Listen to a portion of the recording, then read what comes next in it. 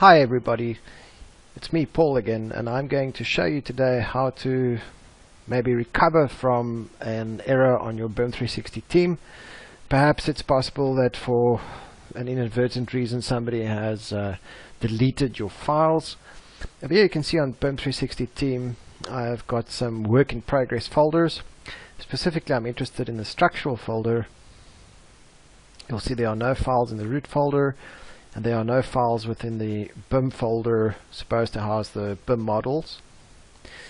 Similarly, if I go into Revit, now those of you who use collaboration in Revit should know that in the root folder there's a hidden file that collaboration for Revit uses when you publish it.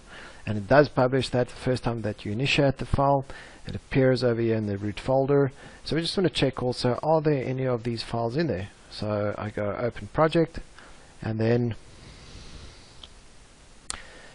you'll see two BIM icons here. The first is BIM 360, which is the cloud-based 360 place, if you can call it that. There is our structural folder, and I can see there are no files in here. That BIM team folder, where you can see micrographics, that's our hub.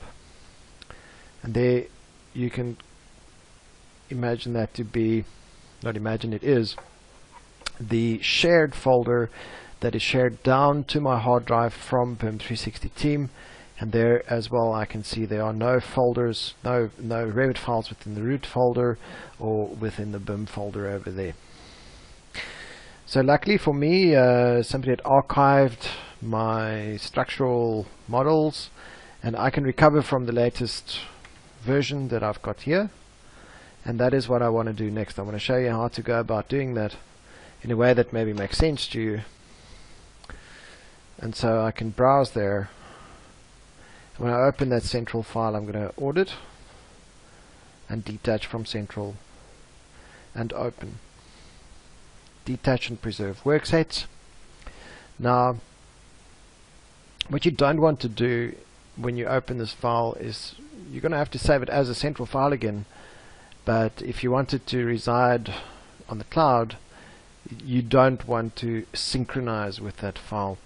So as soon as I get it it's opened I go file save as project. It's got to be a in the options we can see it has to be a central model. And this time I'm going to save this in my BIM 360 team. That is not the cloud. That is my synchronized folder in micrographics shared folder there's the structural folder there's the BIM folder. So here are my BIM models and I'm going to call this with a new revision a central file. It will be a central file and I'm going to go save. So after I've saved this I do not want to synchronize this because I want to publish it up into the cloud. And if you had synchronized it the option to collaborate in the cloud wouldn't be available to you. So let's go collaborate in the cloud. And in which folder would I like this? Within the work in progress for structures. And I say initiate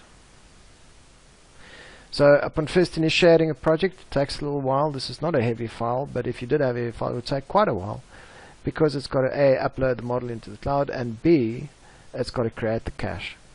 So the first time around it's always going to be slow but then after that because it's only um, updating from what is different from the cache it will be a lot faster and you shouldn't wait too long. Alright, so we're just waiting for this file to load up quickly. So if you are wondering what sort of internet connection you'll need, uh, we've got uh, 20 megabits per second symmetrical line up and down.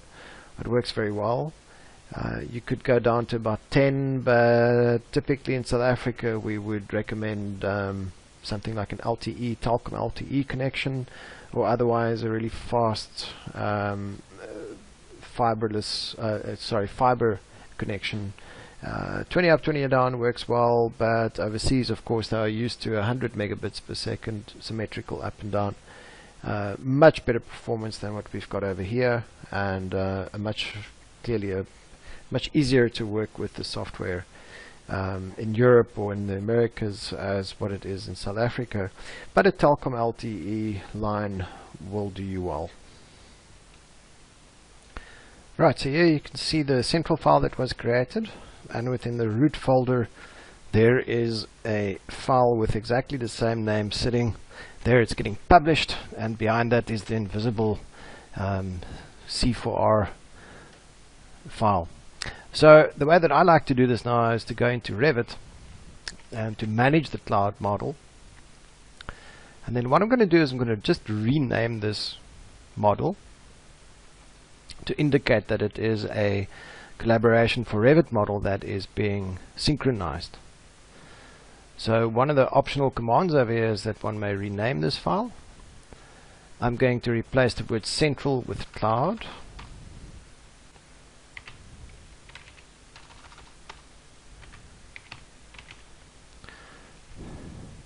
And perhaps indicating that it is an ongoing linear progression and that the previous central file shouldn't be used, there I increase the minor uh, revision to 8 and I say rename. And now I can once again it's been synchronized. Let's go and have a look at our team. Refresh the view on the browser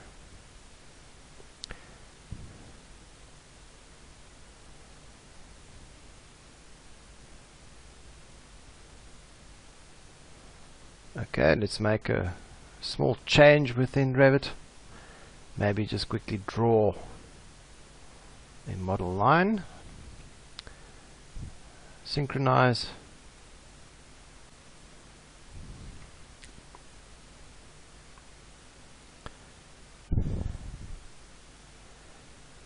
And then we're going to publish that again.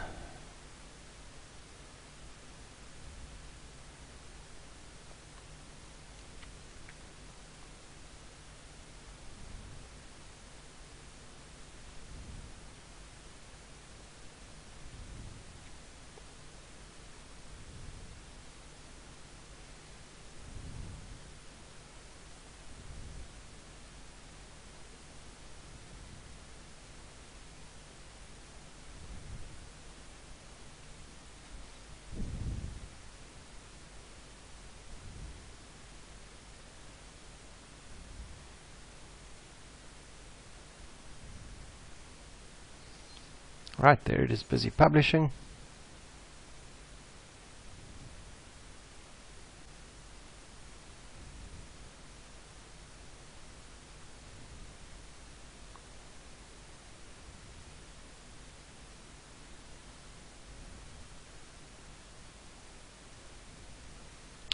and the name has increased to 8. The minor revision, the name has now increased. So the next thing I'm going to do, I want this file, which is the published copy, to reside within the BIM folder, and so I'll move it into the BIM folder. Move. And it's gone from here. The collaboration for Revit file is still there, but the published file is within BIM. There it is, version 2. Right, let's see what happens.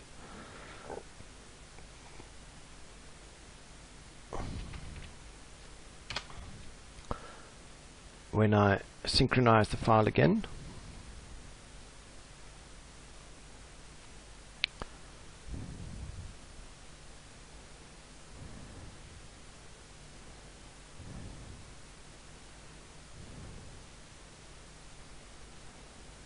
and then I'm going to publish it again.